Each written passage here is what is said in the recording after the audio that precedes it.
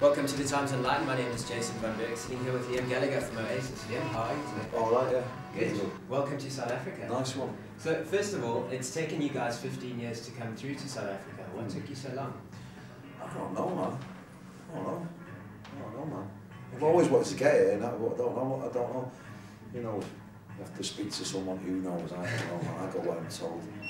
Okay, and um, are you looking forward to taking part in the Coca-Cola Zero Festival? I'm looking forward to roasting every single band on the bill. Nice. I like that. I was actually going to ask you about the um, the fact that two of the bands have pulled out. Who? Bullet for My Valentine Right. and um, Red Jumpsuit Apparatus. Why have they pulled out? They pulled out because they've got recording contracts Right. and they have to, they have to get Lightweight. involved. Is that what you said? Yeah.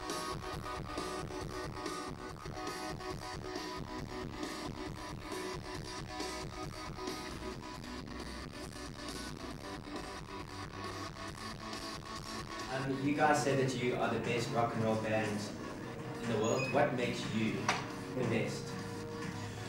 Right, we've got the best songs, and we're pretty good live. And we don't take no shit, and we're not, we're not, you know, you know what you're getting with Oasis. There's no frills or anything. It's direct, and pe- people like that. Okay.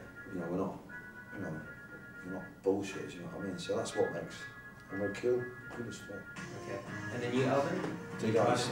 I am proud of it. Yeah, I like the way it sounds. Yeah, I'm, I'm happy with it. I'm happy with every record we do. You know what I mean? As I to put it out. Okay. You're actually exploring the songwriting process as well. Yeah, a little bit. Not too much though. I don't want to, I'm not get carried away. I'm, I'm, I'm a singer more than a songwriter. Okay. And I'd be more, I'm more worried about losing my voice than writing another song, you know what I mean? But it's something I do on the sly in my house and that, and people dig it, they dig it. If they don't, they don't. Okay.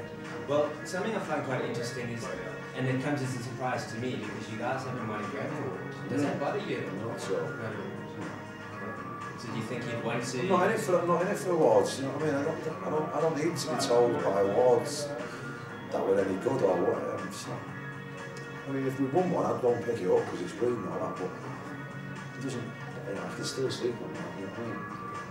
And what do you get up to for fun? I mean, you guys are going to be you're performing tomorrow. You're headlining the festival. Um, but what are you going to do in your downtime in South Africa? You got some plans? Well, I'm not going to do much in Johannesburg because just going to just sit at the pool to go have a day off, you know what I mean, today and tomorrow. And then go and do the gig, and if it's any good down there, maybe hang about, have a beer and that.